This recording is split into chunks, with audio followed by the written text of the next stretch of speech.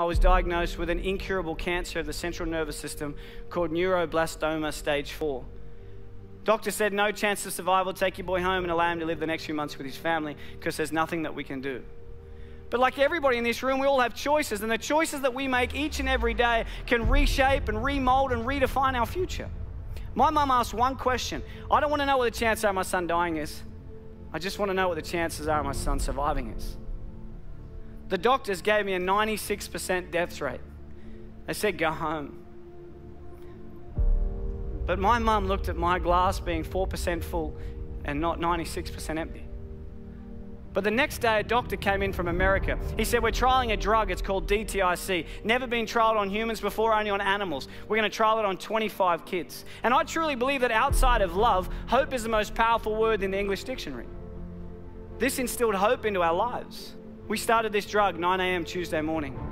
Within one month, 20 out of the 25 kids had passed away. Within 90 days, 24 out of the 25 kids were dead my mum, she would sit there and she would watch a doctor come in and zip up a body bag and wheel them out because of the same drug that she chose to put me on. I say to people all around the world that I'm one of the lucky ones. But I never say I'm one of the lucky ones because I'm still alive. I say I'm one of the lucky ones because I wasn't my mum. My mum had it tough. She had to make a choice to inject the drug into a child that has killed everybody that had ever taken until one day I was finally allowed to go home. The doctor said to my mum, Your son, he will never go to school, he will never play sport, he'll be a housebound baby, and if he reaches his teenage years, it'll be a miracle. But we believed in miracles. And my mum wanted my dreams to come true. And when I was lying in hospital, my mum bought me a Velcro glove and a Velcro ball. And she'd sit at the end of the bed and she'd lob the ball to me. I'd catch it and I'd throw it back. Till she gets further and further away until eventually I said to her, I have a dream, and that dream is to one day play baseball in America. And people laughed at me. Nobody in your life will tell you what you can do, they'll only ever tell you what you can't do. My dream was to play baseball in America, and I wanted to do everything in my power to make sure that happened. And there was a lot of hiccups along the way. I had my first heart attack when I was 12. I had glandular fever, I had bacterial meningitis. But people kept telling me I wouldn't do it. So it made me work really hard to make sure I could do it. I was lucky enough at the age of 17 to sign a contract and live in America and play baseball. But as you know, life is like a roller coaster. You can get to a pinnacle point in your life and it can get taken away from you in a heartbeat. At the age of 18, I was playing baseball in Phoenix, Arizona. I slid into a base at second and I woke up three days later. And at the age of 18, I suffered my career ending heart attack and I was sent home. I was a depressed boy I thought life wasn't fair. And I would pray every night, but I wouldn't wake up in the morning. I just wanted God to take me. But I kept waking up every morning. Yet every time I've been knocked down, I always remember what my mum's taught me. Son, it doesn't matter how many times you get knocked down, it's about how many times you get back up that truly determines the quality of your life. When I got home, I got a job in banking.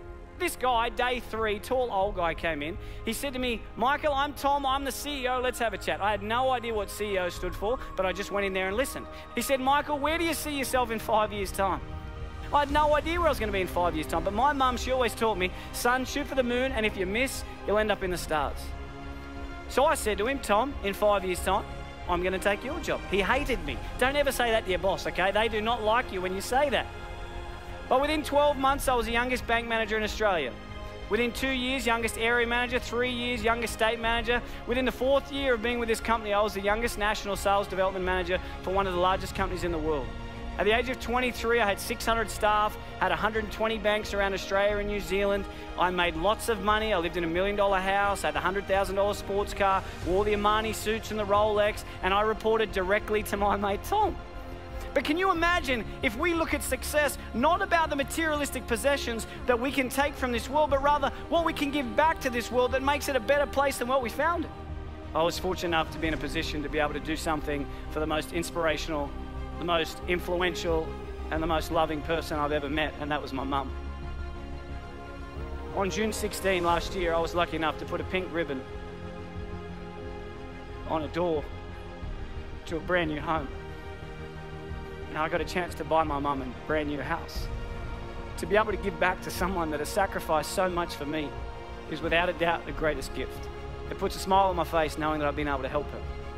And when I was seven, I heard through the curtains the doctor say to my mum, he will never go to sport. He will never play baseball. He will never, ever go to school. And if he reaches his teenage years, it'll be a miracle. And my mum, she walked out, and I said to her, as if I didn't hear, What did the doctor say? And she said, Everything's going to be okay, son. When I was 12, I had a heart attack, and the doctor said to my mum, He will never play sport again. She walked out, and I said, What did he say? And she said, Everything's going to be okay, son. And earlier this year, I finally got a chance to return the favor. Unfortunately, earlier this year, the doctors found four tumors in my throat. I've never seen my wife cry so much in all my life. The doctor said to me, Michael, we're sorry, but tomorrow's not guaranteed. You need to slow down. But that's one thing we all have in common because no one's guaranteed. I think that life is not about the amount of days that you live on this earth, but it's about what you fit into those days that allows you to live a remarkable life. And I remember driving home, and she called me, my mum, and she said, Mike, what the doctor say? And I said to her, Mum, everything's going to be okay. Every one of us, every single day, is blessed with the air that we breathe, the opportunities that we have. And I challenge you every single day to get out of bed and do something that your future self will be proud of.